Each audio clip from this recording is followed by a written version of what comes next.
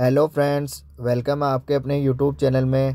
Friends, जो आपने thumbnail में देखा तो फ्रेंड्स, आज के हम इस वीडियो में बताने वाले हैं कि एक रेबिट कम से कम फीमेल रेबिट कम से कम कितने बच्चे देती है और ज़्यादा से ज़्यादा कितने बच्चे दे सकती है। तो फ्रेंड्स, एक तो मैं बताऊँगा जो आपको मेरे साथ अपना खुद का एक्सपीरियंस पहले बता देता हूँ आपको मैं।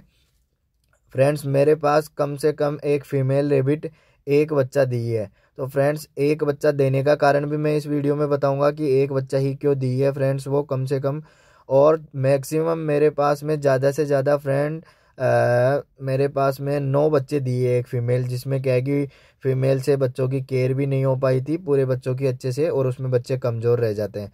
तो इतने ज़्यादा बच्चे देने का कारण और कम देने का कारण मैं बताता हूँ फ्रेंड्स आपको। फ्रेंड्स अगर आपकी फ़ीमेल एक या दो बच्चा दे रही है तो फ्रेंड्स या तो वो हेल्थ इशू है, कमज़ोर है, या फ्रेंड्स अगर उसकी एज ज़्यादा हो गई है, इसकी वजह से फ्रेंड्स बच्चे कम देने का कारण एक ये है। या फीमेल रेबिट केज ही केज में बंद रहती है, उसके कारण भी बच्चे कम होने के चांसेस रहते हैं।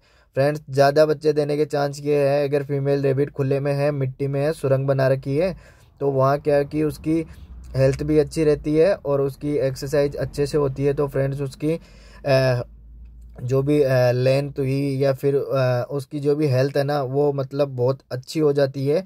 तो फ्रेंड्स वहाँ उसके बच्चे ज़्यादा देने के चांसेस रहते हैं और केयर भी अच्छे से कर लेती है।